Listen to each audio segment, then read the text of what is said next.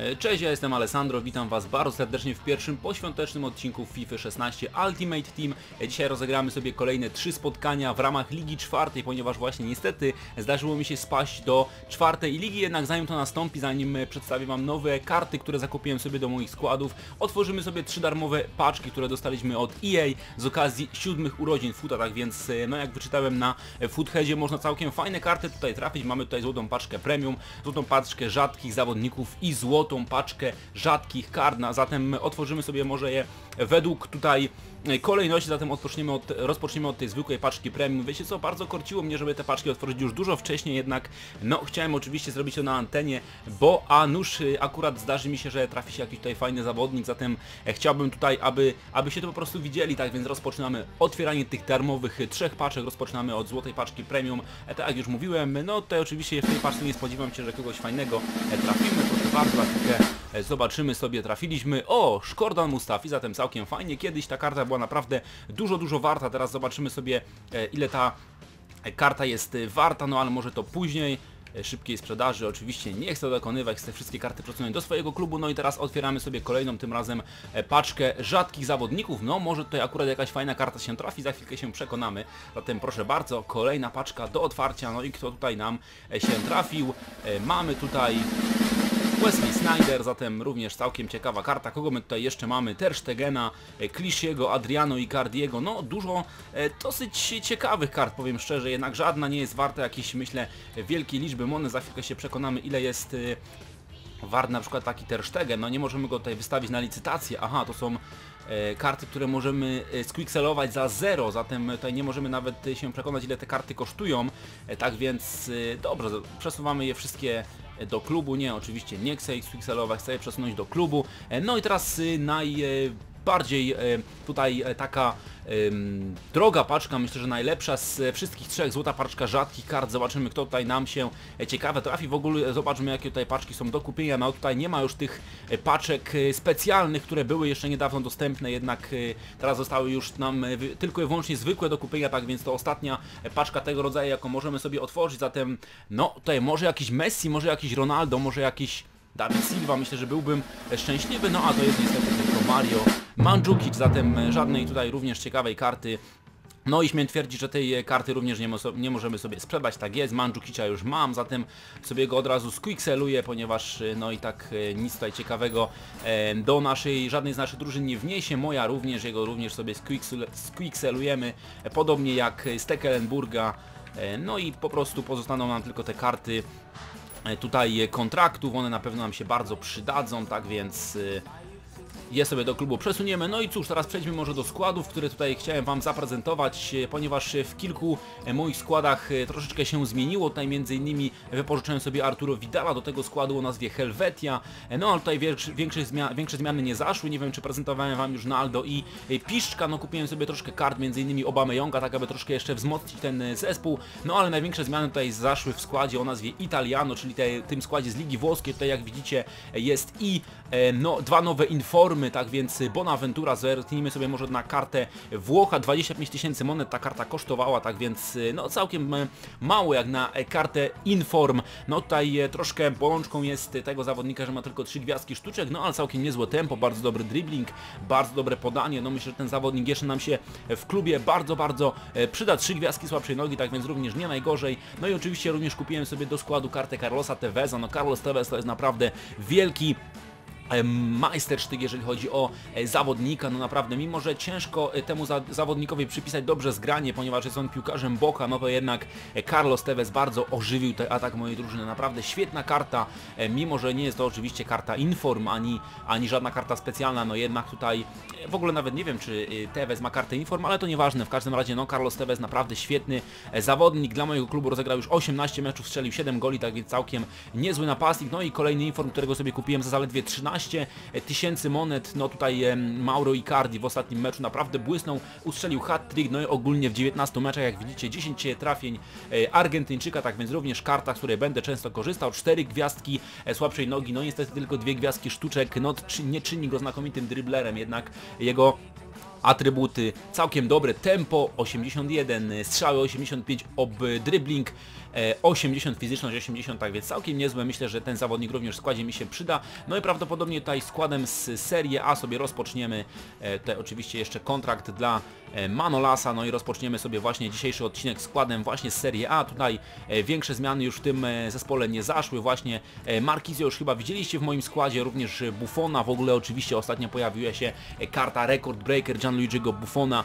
To oczywiście z okazji tego, że Gianluigi pobił nowy rekord minut bez puszczonego gola w Serie A, co jest znakomitym osiągnięciem, tam było ponad 900 minut, tak więc naprawdę wielkie osiągnięcie w wykonaniu legendy Juventusu i reprezentacji Włoch. Ja tutaj mam oczywiście zwykłą kartę e, Buffona, która i tak spisuje się bardzo dobrze, e, tak więc tym składem, który teraz widzicie na waszych ekranach rozpoczniemy e, dzisiejszy odcinek i poszukamy pierwszego przeciwnika. Ten mamy, moi drodzy, wylosowanego pierwszego rywala, zerknijmy na jego skład. Ło, proszę bardzo, są dwa informy, jest Jago, również Javi Martinez, no w ogóle skład złożony z zawodników Bayernu, no nawet dobrze się składa, bo to będzie taki mały rewanż za ostatni mecz Ligi Mistrzów 1-8 finału, gdzie Juventus odpadł właśnie z Bayernem, no i tutaj jeszcze dodatkowa motywacja dla mnie, aby tą drużynę pokonać, tak więc no będzie ciężko, bo zawodnik naprawdę dysponuje, e, rywal dysponuje mocnym składem, no ale mam nadzieję, że uda się dzisiaj zgarnąć 3 punkty. Uwaga, pierwsza okazja, no i niestety Lewandowski pakuje piłkę do naszej bramki, nie było spalonego, piąta minuta, no i przegrywamy niestety dosyć szybko 0 do 1. No, niestety to jest 2 do 0, tym razem Thiago Alcantara dał się tutaj wykiwać e, Manolas w polu karnym, no i niestety przegrywamy już e, dwoma bramkami z przeciwnikiem. E, no, widać, że naprawdę dobrze dzisiaj dysponowany. Teraz fatalny błąd Manolasa, jest Lewandowski, idzie tutaj w sukurs dobrze. Bonucci, który tam przyblokował dobrze Polaka, no i na szczęście udało się tym razem wybronić tę sytuację. No i uwaga, to jest okazja, ładnie tutaj Parolo, Parolo, ależ teraz broni znakomicie Manuel Neuer, no teraz ładnie Parolo skierował, y, skierował piłkę w kierunku dalszego rogu, no ale tutaj e, jeden z najlepszych bramkarzy świata dobrze to wybronił. Przeciwnik e, stara się tutaj atakować, no spójrzmy, przegrywa ten pojedynek z Alabą. E, Manolas jest już w polu karnym, Dawid Alaba, no i co zrobi? Jeszcze Alaba, no niestety to jest 3 do 0, tutaj przepuszczony Austriak przez naszych obrońców, no i niestety przegrywamy 0 do 3. No i nie, przepraszam, to nie była Laba, to był Kingsley Coman, który prawdopodobnie pojawił się w tej przerwie na boisku. Ależ teraz bramka 4 do 0. Robert Lewandowski po raz drugi. No tutaj rywal znów mnie tutaj stłamsił.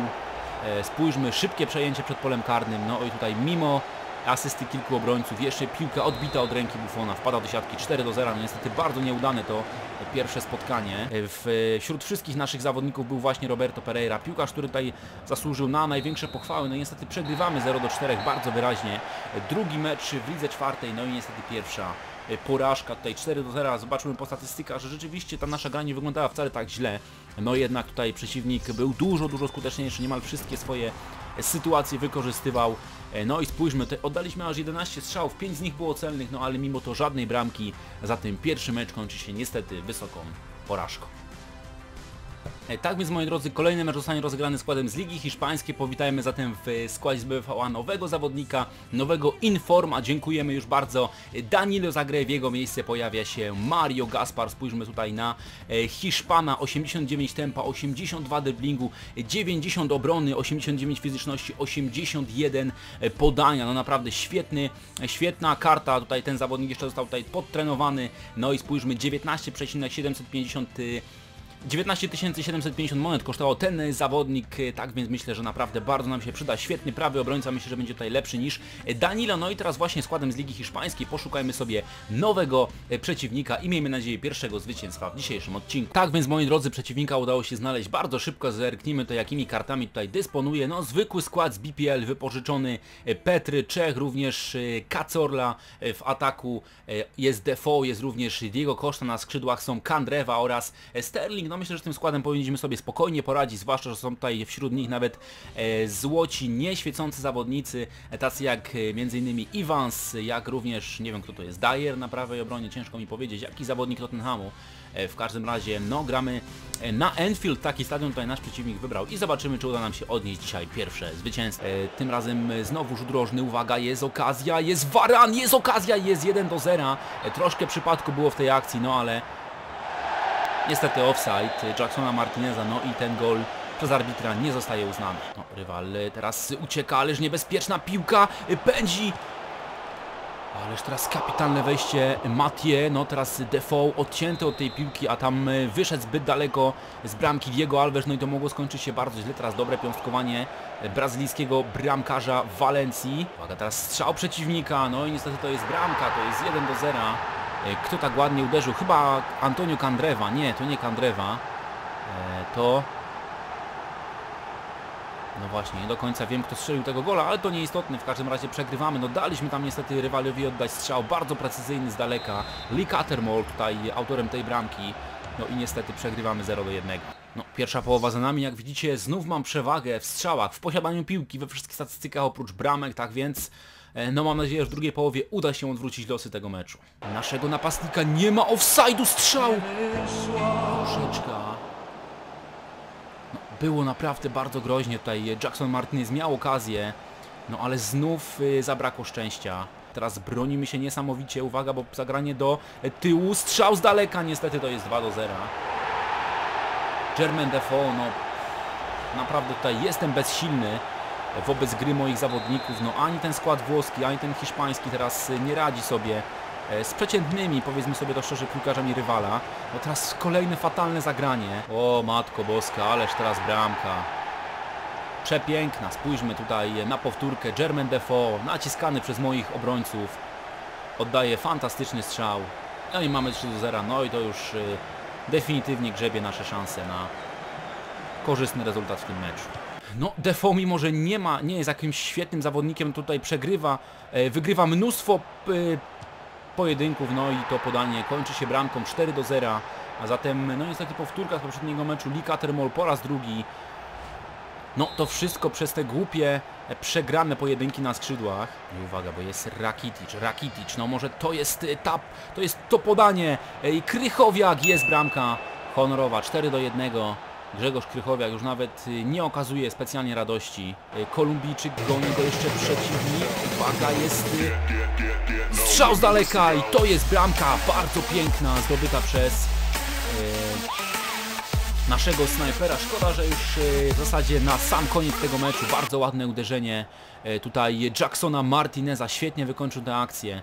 No już tak troszeczkę z bezsilności zdecydowanie się na ten strzał, ponieważ już przeciwnik mnie niemal dogonił, no ale spójrzmy tutaj w tej powtórce, widać bardzo wyraźnie, że piłka po strzale e, Kolumbijczyka przekroczyła linię bramkową. Mamy 4 do 2, tak na otarcie łez.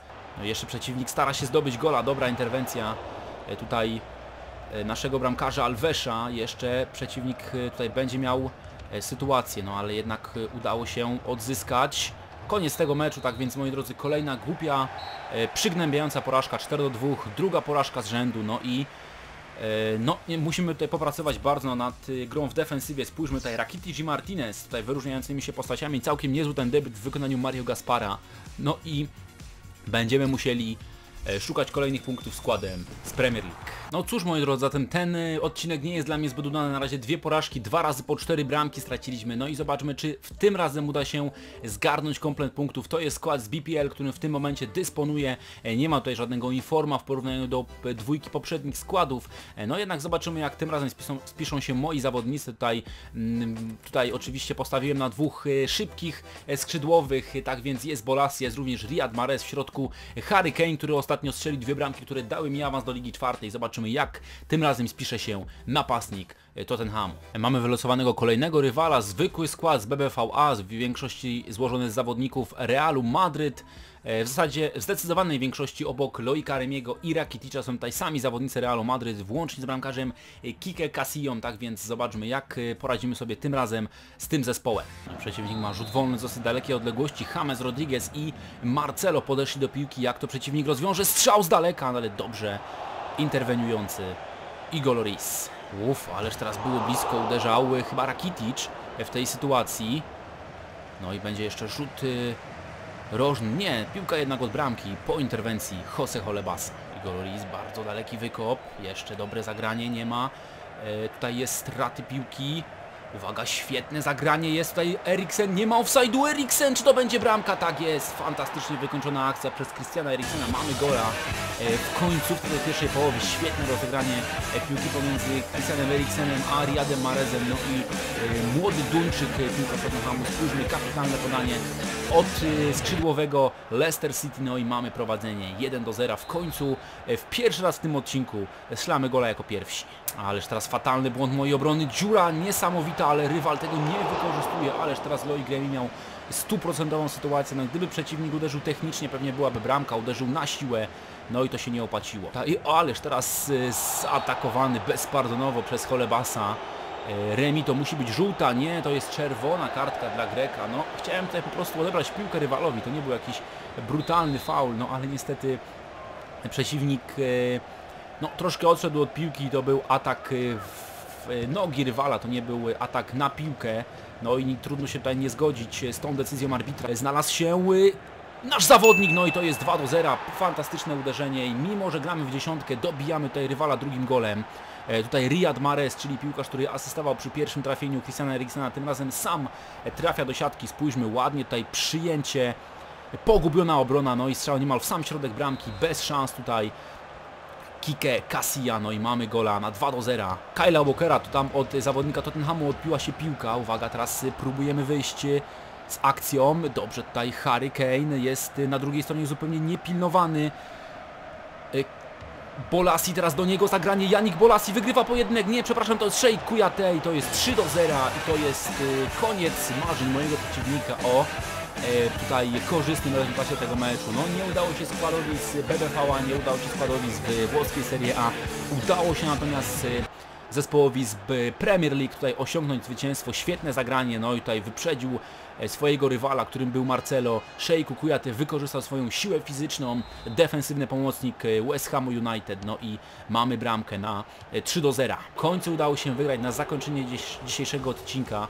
E, No spójrzmy, Igor jest piłkarzem meczu, no ale również wielkie brawa dla Kouyaté, Okore oraz e, także e, dla Kyla Walkera, który również rozegrał świetne spotkanie, bardzo słabo Cholebas, słabo również Dimitri Paye, również Ogbona mimo kilku dobrych interwencji, słaba ocena, no niemniej jednak wygrywamy to spotkanie, no i tutaj spójrzmy, Oddaliśmy zaledwie 7 strzałów, przeciwnik aż 15, no a mimo to wynik 3 do 0. E, Tutaj może nie do końca oddaje realia tego spotkania, jednak e, no cieszą naprawdę kolejne 3 punkty, no i jeszcze 6 spotkań pozostało do zakończenia, 10 punktów musimy zdobyć, aby awansować z powrotem do Ligi Trzeciej. E, Tak więc cóż moi drodzy, w dzisiejszym odcinku to już wszystko, bardzo serdecznie dziękuję za jego obejrzenie, no szkoda, że nie udało się wygrać wszystkich trzech spotkań, ani e, nie udało się trafić w żadnej z paczek jakiegoś dobrego e, zawodnika, no jednak może jeszcze jakieś paczki sobie będziemy otwierali wspólnie i wówczas jakiś dobry, jakaś dobra karta nam się trafi. Na razie to wszystko, jeżeli chodzi o FIFA Ultimate Team, do zobaczenia i usłyszenia w kolejnym odcinku. Teraz oczywiście na pewno na moim kanale pojawią się dwa odcinki z Football Managera, tak więc na nie serdecznie zapraszam. Na dziś to wszystko, trzymajcie się, na razie, cześć!